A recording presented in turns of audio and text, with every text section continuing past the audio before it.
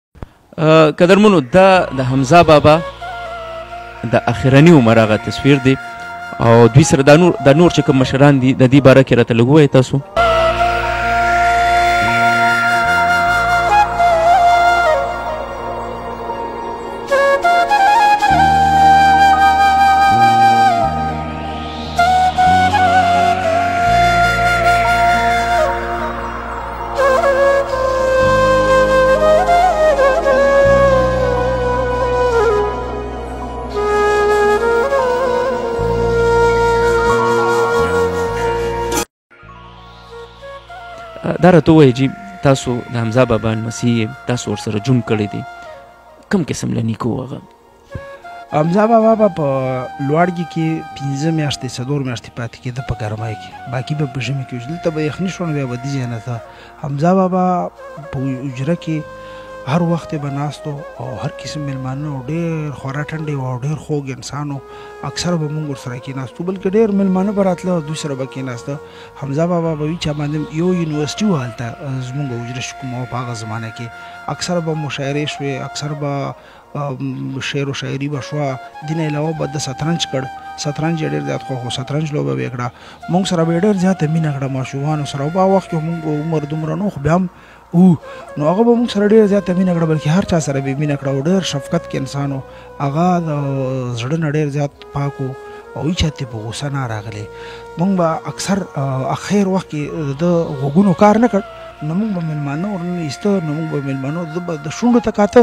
چې ده به څه ووایي چې حمزه صاحب خو نن دا زه بونیر یم لا د دې ځای ما هغه به ورته د بونیر ملک نوم واخیست دا څنګه هغه به خلک به حیران شو اورېدی یې نه کړه خو چې کوم دی که نه د ده شونډو ته به یې کاته چې ده دا الفاظ ووایي هغه الفاظ به د دومره یاداشت یې تېز و او حمزه صاحب چې کوم په کلی کې او بالکل په اجرا کې وځي دا او دستخان به او ملمانه به دا ډېر خو موږ باندې به هر وخت شفقت کړ موږ سره به ډېر مینا کوله ډېر مینا دا راته وای کله چې دغه اخیرنی وخت شو او دغه ستوري ډوب شو لار دغه وخت خو ورباندې سم قیامت تیر شوی په تاسو ډېر سخت وخت و چې حمزه صاحب وفات شو په پېښور کې پروت و او د هغه مثانه زخمي وه نو چې کله وفات شو نو موږ په هیڅ پته نه لګېده چې موږ به دا څه کړو دا به موږ چرته خخو چرته به ځو هیڅ قسمه ټول کمپیوز شو مشران کشران ټول کنه نو په اخر کې زمونږ خپل مشران نو خپل دیره مو پاغه کې خخ کړ امانتي مخخ کړ مونږ وی چې دا خو لوی شخصیت دی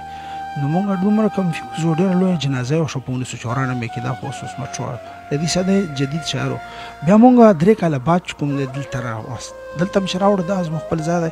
بیا د راجولي شاه خټک صاحب چې کوم ګورنر سید افتخار حسین ډېر معتبر شخصیت هغه چې کوم دی هغه د نقش حیات یو اردو کتاب او هغه به د رجل شاه خټک به د هغه بچو ته پښتو سبق کولو نو هغه ګورنر چې کتاب وکت نو وی چې دا خو پوره هیره ده نو هغه ګورنر سید افتخار حسین صاحب چې کوم هغه په ماین شو چې کله په ماین شو ډایرک هلته دوره وکړه دلته دغسې وړه غوندې مقبره وه ساده نو چه راغی نو نیغ په نیغه یې ډاریک حکم وکړ او اډر یې وچلول چه دی باندې مقبره جوړه کړه او دا مقبره چه کومه ده کنه دا هغه په جوړه کړه په 2002 کې دا 2002 کې سید افتخار حسین سه په بدولت باندې جوړه شو نو موږ ډیر زیات خوشاله شو موږ ویش کوم بس غونډه دنیا برته امزا سه ژوندې وینو تاسو کله چې حمزه بابا د هغه خپل هغه مقبرې نه دلته وروړو او کلم دغه قبر کولو کو هغه هماغه حساب پروت و هغه څو علما او چې مشرانو زمونږه نو هغه وی چې بالکل په د چې کوم تابوت په هغه باندې اصله پرخه باندې پرته و هغه مونږه درې کړه بالکل محفوظ پروتو بالکل مونږ هغه زین راوړ ما خام باران ورېده ډېر نا وخت ټیم و چې څنګه مراوړ ډېر په نیغه باندې برته دلته کې خو او چې څنګه تابوت بالکل مغه سي امانت پروتو ډېر صفاف پروتو نو دا بالکل حقیقت ده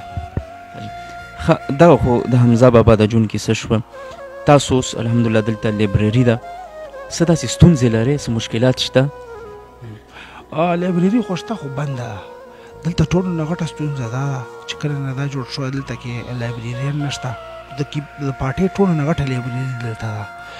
دلته کې اوبو سخت تکلیف دی د شاته مزار چې کوم دی تاسو به کتلی شیشې وې او دا شیونه ماتې دي موږ بار بار اپیلونه وکړو حکومت ته چې موږ ته د دې لپاره چې کوم دی کنه ټویل وشي د دې لپاره لایبریرین وشي د دې لپاره صفایې کسان راشي موږ بار بار اپیلونه وکړو خو لا اوسه پورې هیڅ هم نه دي شوي. حکومت وده دی حکومت خود د دې چې دا تقریبا چې ډیر وخت شو نو حکومت ته اپیلونه کړه نو د حکومت د داسې ادیبانو د قدر خو ډیرو کم خلکو سره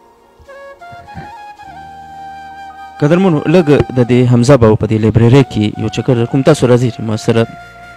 دا ډیر تاریخي ځای دی الحمدلله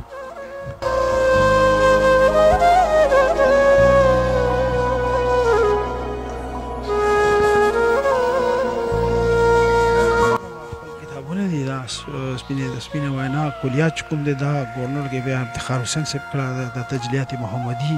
پوه شو کنه دا د خپل کتابونه دي بیا نوې چپی چې کوم ما تاسو ته وویل چې یو ناول دی خو په دې باندې دا ناول دی او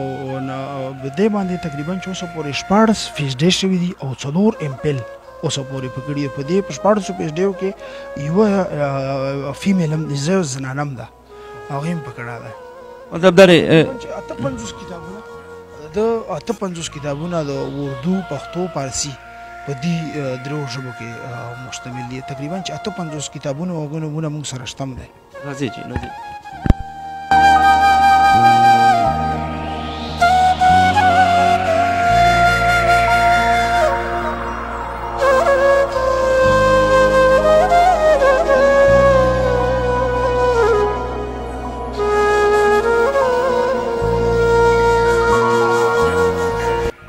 قدرمنو دا د حمزه بابا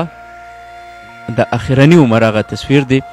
او دوی سره د نور د نور چې کوم مشران دي د دې باره کې راته لګوي تاسو چې کوم دا د صحابه چوټه لاور سره تعلق ساتي او اوس چې کوم دی سید طیر بخاری باچا صاحب د